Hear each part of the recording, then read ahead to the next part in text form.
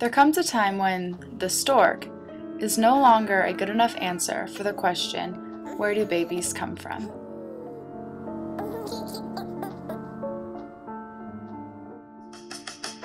How sweet it is to be loved by you.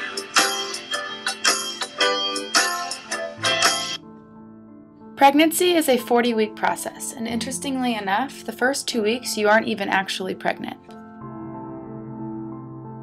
The first week of your pregnancy, you are going through your menstrual cycle.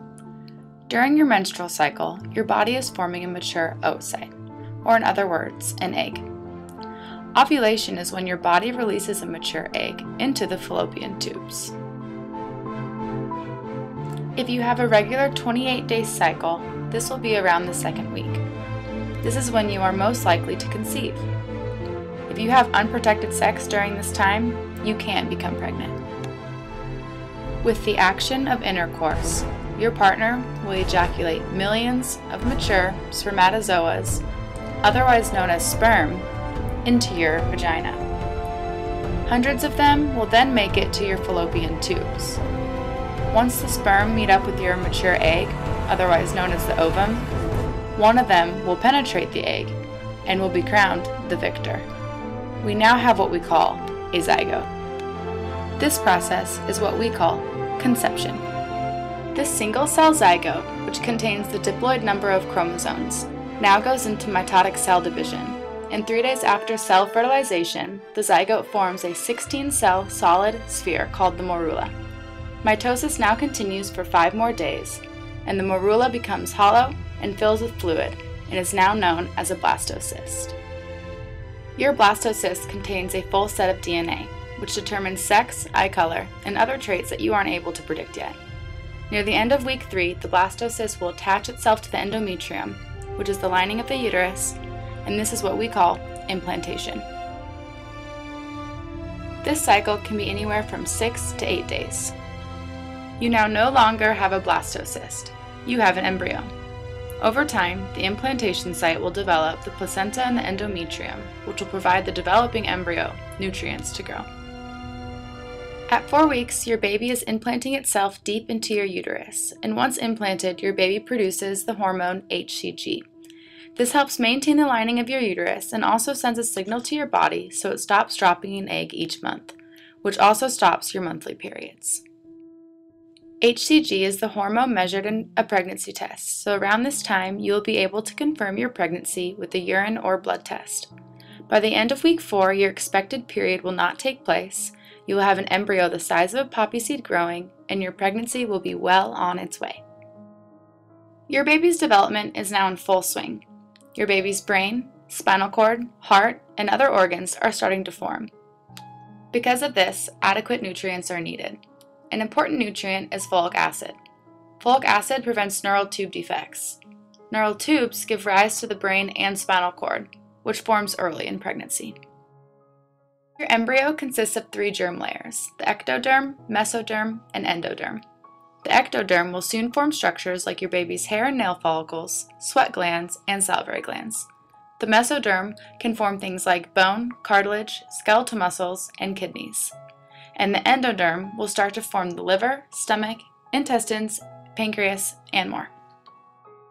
The poppy seed inside of you is now getting a distinct shape. The neural tubes run from one end to the other, and a large mass in the middle of the embryo will soon develop into the heart. During this time, the placenta develops. Your baby is starting to take on form and starts to resemble a tadpole. By week 6, your baby's heart starts to beat, twice as fast as yours actually. Your baby's facial features are starting to form, and little buds appear where arms and legs will develop. Your baby will start to take on the C shape. By week 7, your umbilical cord has formed, your baby's digestive tract and lungs are now beginning to form and continue to form throughout pregnancy. During this week, your baby's face is taking shape, including the mouth, nostrils, ears, and eyes. They become more defined. By this time, your body also forms a mucus plug in the cervical canal that protects the uterus. Your baby resembles a pomegranate seed. Your baby is starting to transform into a developing human. At this week, your baby's digestive tract is continuing to grow especially its intestines. Your baby's teeth will also start to form in the gums.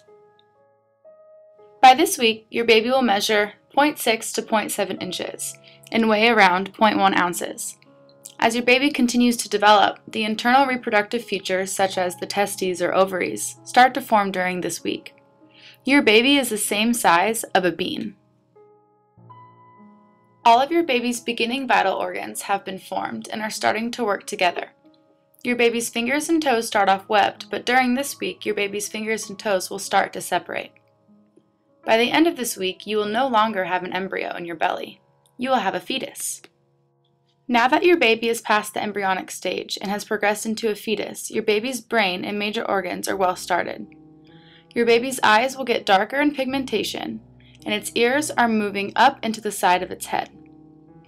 Your baby's head makes up for half its body length. But because of rapid development, your baby's body will soon catch up. Your baby's fingernails and toenails start to form along with its vocal cords. Your baby's kidneys are now functioning. After your baby swallows amniotic fluid, it can now pass it out of the body as urine. You may also be able to hear your baby's heartbeat with an ultrasound.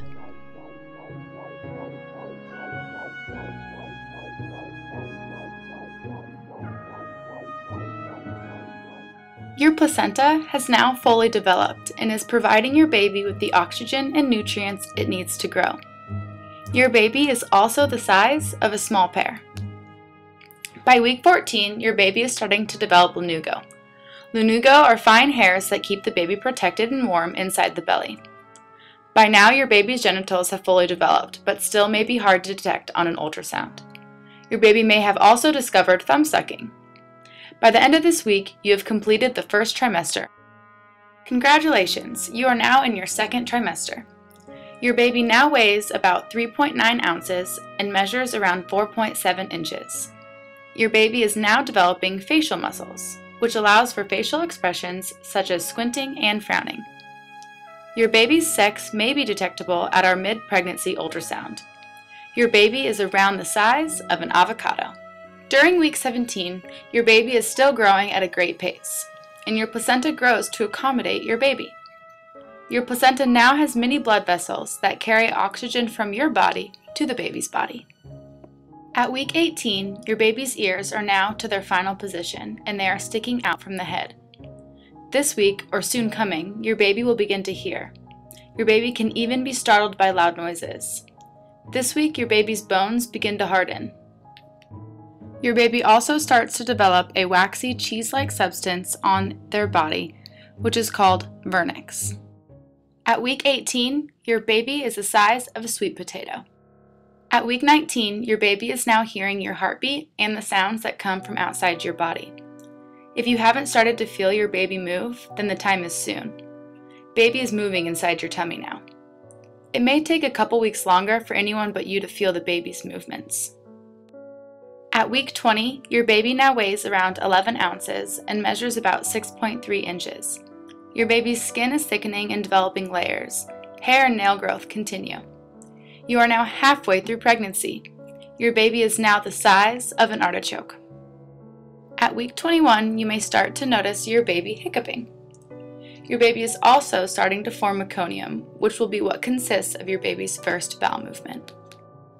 At week 22, nerve endings and taste buds are starting to form. Your baby is now experimenting with his new sense of touch, and he'll begin to suck or stroke his face. At week 23, in boys, the testes have begun to descend, and in girls, the uterus and ovaries are in place and the vagina is developed. Your baby is now moving a lot in your belly using its muscles in the fingers, toes, arms, and legs regularly you may be able to see your baby squirm under your belly. At week 24, your baby's lungs are now trying to fully develop, and the ability to produce surfactant is important. Surfactant is a phospholipid substance that keeps the air sacs in the lungs from collapsing or sticking together when the baby tries to breathe. Your baby is the size of an eggplant. At week 25, your baby will now be able to realize if he is upside down or right side up in the amniotic fluid due to balance. Your baby can also taste the food that you eat. Your baby is now probably over a pound in weight and just over a foot long. At week 26, your baby's eyelids may begin to open and be able to blink. Your baby's skin is loose and wrinkly, and your baby will continue to gain weight to fill in the space. At week 27, your baby is doing what is called practice breathing by taking breaths in and using his lungs. It's now week 28. Your baby may start to recognize your voice. Your baby now weighs about 2 pounds. Your healthcare provider will probably be able to tell what position your baby is in.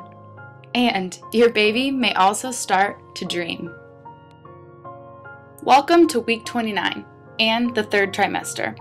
The folds and grooves of your baby's brain continue to develop and expand, and in addition, your baby has added layers of fat and has continued hair growth. At week 30, your baby is now moving a lot, and with some movements, the kick or jab may take your breath away. You can now monitor the movement of your baby and be aware when baby stops moving.